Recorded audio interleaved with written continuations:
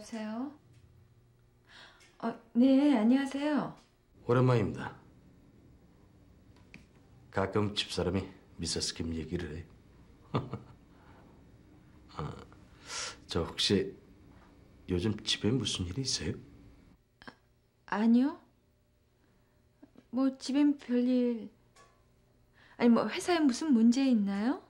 오늘 김 국장 사표를 받았어요. 네? 아니, 모르는 일이세요?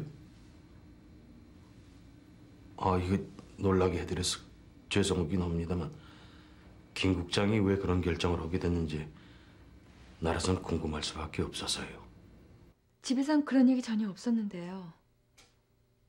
예, 아직 안 들어왔는데 들어오면 전화 드리라고 하겠습니다. 예, 그럼 안녕히 계세요.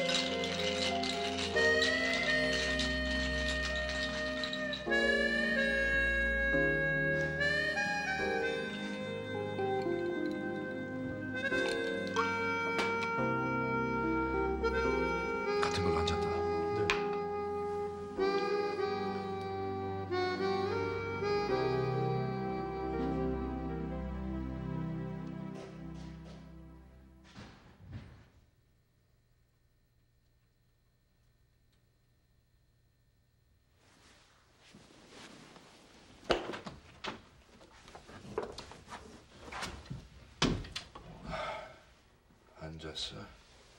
술 마셨어?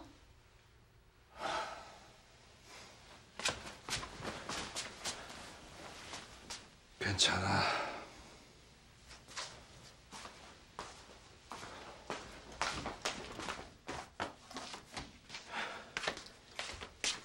당신 괜찮아?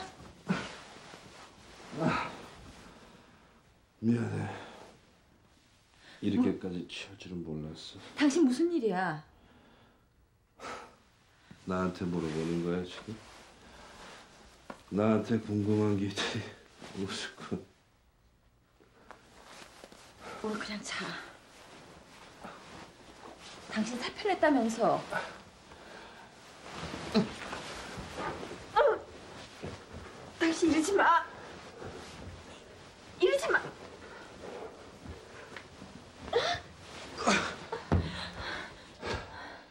이건 아니야. 오해하지 말어.